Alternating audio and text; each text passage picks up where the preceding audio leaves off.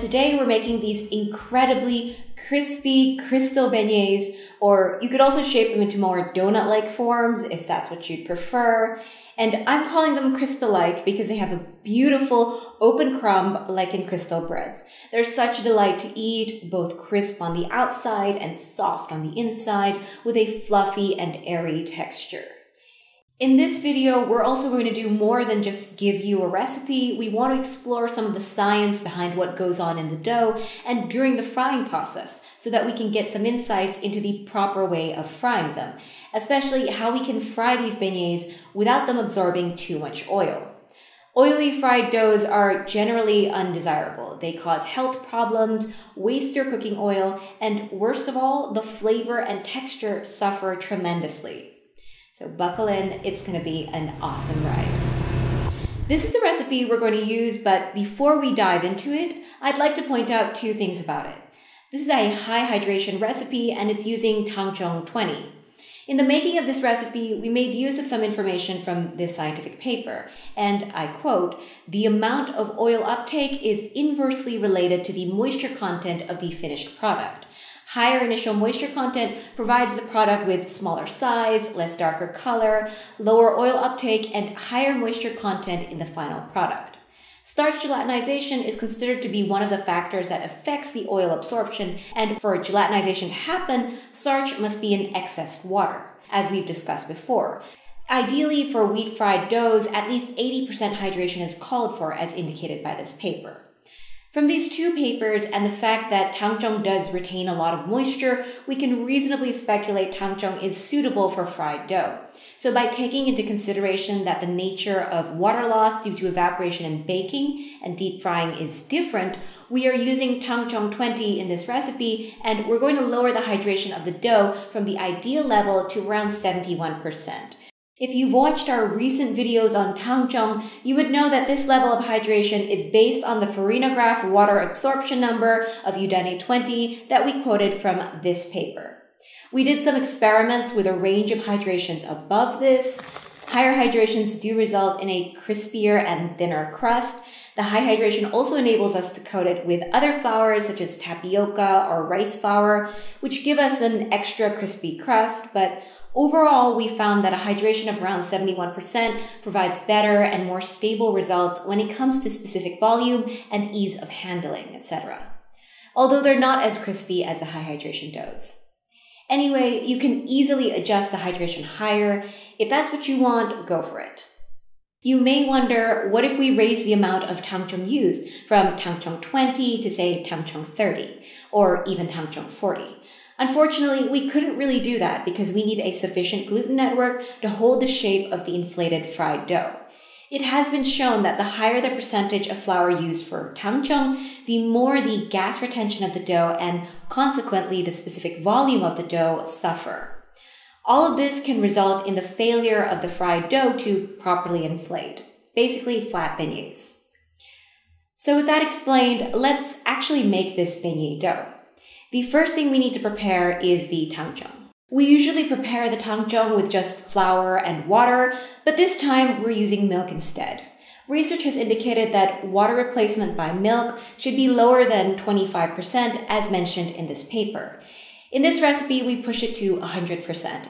The addition of milk gives the dough an extra boost of fat and flavor, but that's not the only thing we're aiming for. In our application, we are also using the milk to somewhat overcome the shortcomings of incorporating tangzhong.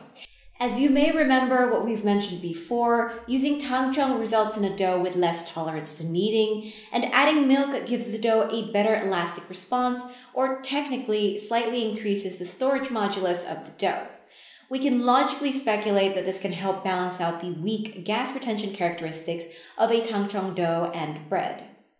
Milk has also been shown to increase water absorption, which is clearly beneficial to our attempt at suppressing the oil uptake, as mentioned before. Okay, we'll measure out 50 grams of bread flour in a bowl, and then we'll heat the milk to just before boiling. We don't want to burn it, just get it hot enough. Pour 100 grams of our hot milk into the bowl first. Then add in the flour.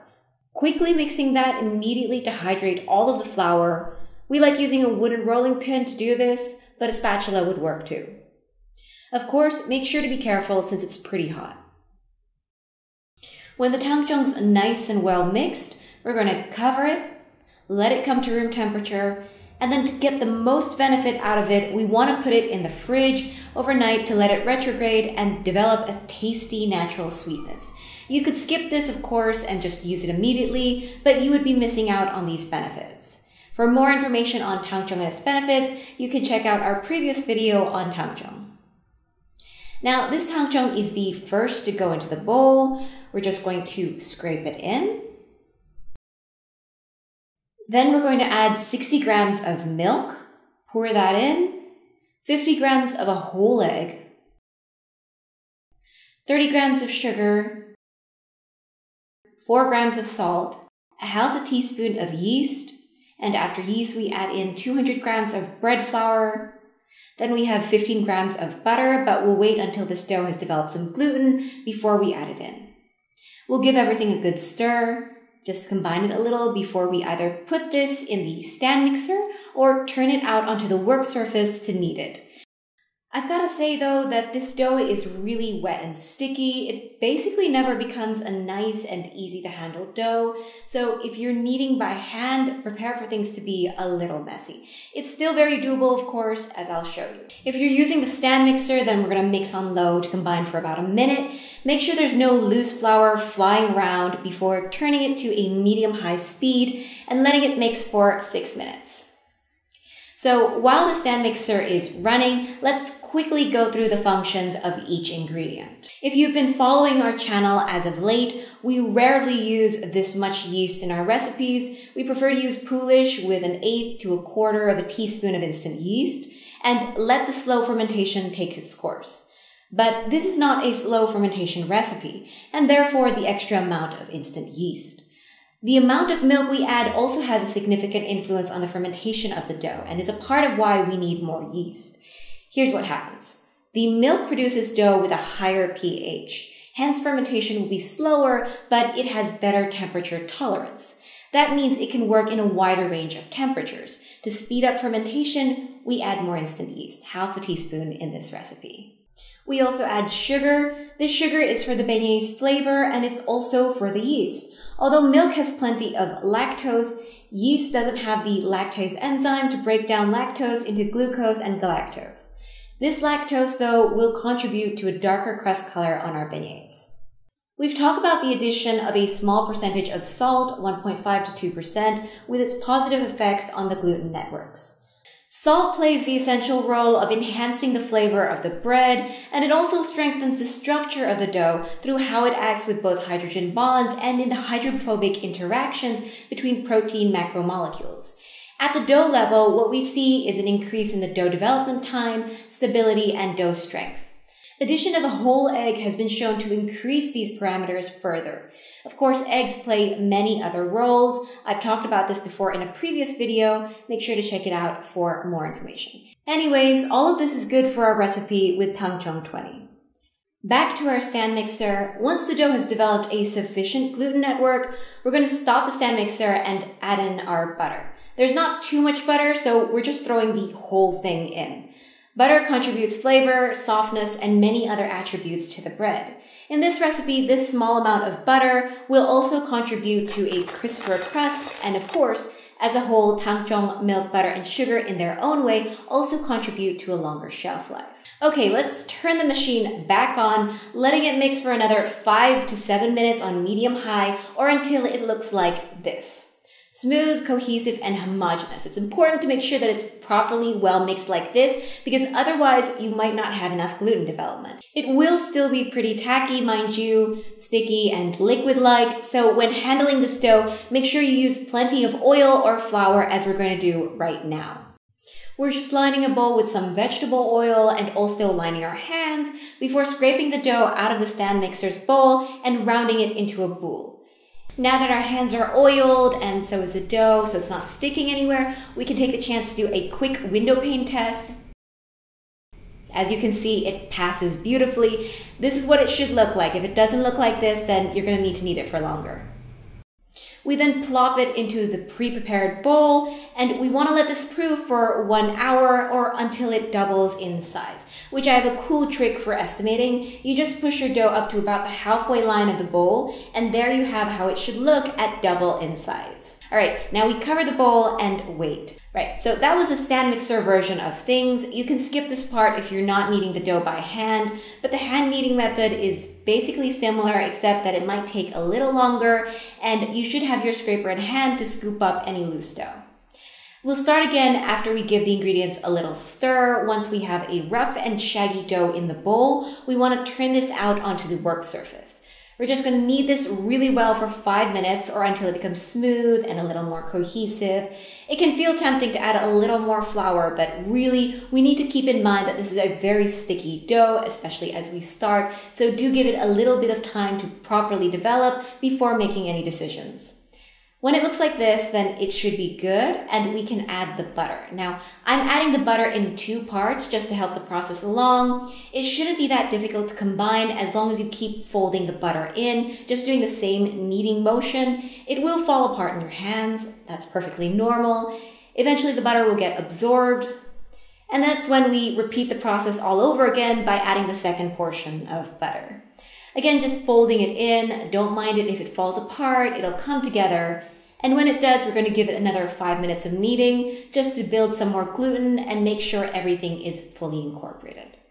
At the end of it, the dough will be pretty sticky. Since we're hand kneading, there'll probably be some stuck to your hands. Again, that's fine. It's supposed to be like that. Okay, so with that done, we'll do the same thing we did with the stand mixer. We're gonna line a bowl with some oil, round the dough as best as we can, And to give us an estimate of what it looks like when it doubles, we'll push the dough up to the halfway line, and that's how it'll look. It normally takes an hour for the dough to double here, but it may vary, so do keep an eye on it. In the meantime, we're going to make the coating that's going to make the beignets crispy. So in a bowl, combine 30 grams of tapioca flour, 10 grams of rice flour, and 20 grams of regular wheat flour. Give that a little mix and we're good. All right, when the dough's doubled in size, we're going to generously, and I mean generously, flour our work surface with the flour mix we prepared just now. The dough is sticky, so we need to properly coat our work surface. Then we're going to take the cover off the bowl, and here the dough stuck to it a little bit, but thanks to that, you can see that glorious gluten structure. And if you look at the bottom of the bowl, you can see how incredibly well aerated that looks. We will again flour the top of the dough with our flour mix before scraping the dough out. It's very sticky. I'm going to fold it once, and something very important to note here is that we're doing our best to keep the flour mix on the surface of the dough, and we're trying to prevent it from getting on the inside. So when I folded the dough just now, I was folding in the wet, sticky sides, while the well-floured sides remained on the outside. This will prevent our dough from becoming dry and tough due to the incorporation of too much flour. Okay, now we want to roll the dough out. Trying our best to get it to a nice even layer that's a little over a half of a centimeter thick, just gently and evenly rolling it out. It should spread out pretty easily, and as long as you used enough flour, you shouldn't have a problem with sticking. It should make around 12 square beignets, with each having 8 centimeter sides. We'll also shape some into round, more donut looking beignets. Looks really nice if untraditional for a beignet. Okay, now we let the dough rest for about 20 minutes as a final proof, making sure they are covered in plenty of flour so they don't stick. We'll cover them and let them rise a little. Around five minutes before the dough is done, we want to set up our frying pan. We're going to heat up our frying oil. We want to heat it to around 190 degrees Celsius. Yes, I know this is quite high, but we want a quick fry with a very crispy crust. When the oil's hot enough and the dough's ready, then it's frying time. Being careful with our fingers, we're going to gently drop them in one by one. We'll let the dough cook for a moment on one side, let it puff up a little before flipping it, and then we continue like this for about two minutes or until deep golden brown. Wonderful. As you can see, when the beignets first hit the oil, there's a lot of vigorous bubbling. That comes from the water evaporating and results in the formation of a crust. As the bubbling abates due to the lower moisture content, we can see the dough puff up and eventually it barely bubbles anymore, which is normally when it's done. Once the beignets are out of the oil, they begin their cool down phase. And while you might think otherwise, this is actually where most of the oil absorption happens. Right now, as they are fresh out of the frying pan, the oil coats their surfaces, but eventually as they cool, the oil will be absorbed. If you're wanting to reduce the amount of oil in the beignet, I would suggest quickly patting it down with some oil absorbing paper, being very careful since it's hot, of course. Then they're done. Continue frying for the rest of the batch and these delicious crispy beignets are ready to be served. And I have to say, be ready for these beignets to literally disappear. They were gone about 10 minutes after we made them. They are that